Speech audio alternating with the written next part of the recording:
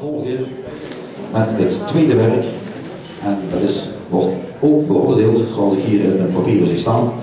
Het is getiteld Hunting Rabbits, Gordon Goodwin, arrangement van J. Staps.